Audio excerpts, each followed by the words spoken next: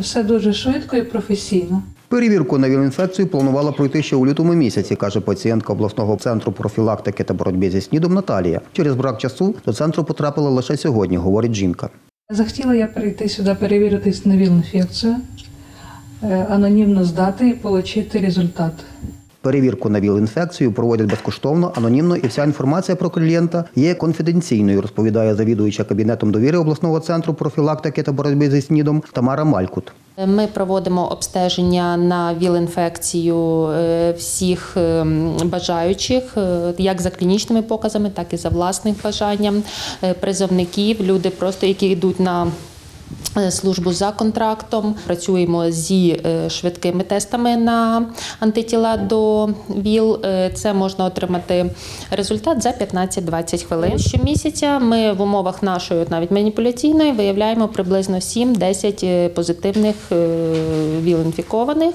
Попри те, що у центрі додалися пацієнти з числа вимушених переселенців, проблеми з ліками немає, розповідає старша медсестра з обласного центру профілактики та боротьби зі СНІДом Ніна Горбатюк. На даний момент е, в нас е, ну цілком задовільна ситуація з ліками, тому що ми е, отримуємо ще залишки лікарських засобів з регіонів, які перебувають в військовому під військовими діями.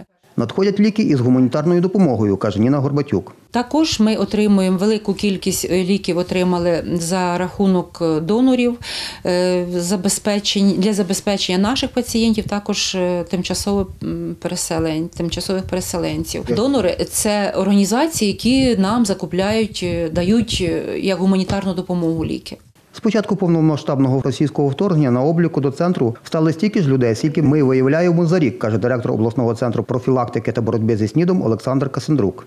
Зараз в області знаходиться 2300 осіб на обліку, і така е, статистика за останні 5 років, що приблизно 200 осіб ми щороку беремо на облік і призначаємо лікування.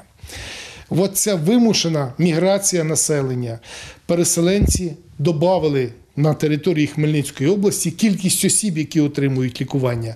169 осіб взято на облік за один місяць серед переселенців. Працює стаціонарне відділення, де перебувають віл-інфіковані з території області, е, військовослужбовці, і вже є, на жаль, і серед мігрантів люди, які мають важкі опортуністичні хвороби, і прийшлося їх госпіталізувати. За словами Олександра Касіндрука, нині у стаціонарному відділенні центру перебувають 14 осіб, один з яких числа внутрішньо переміщених осіб. Михайло Жила, Олександр Грішевський. Новини на Суспільному. Хмельницький.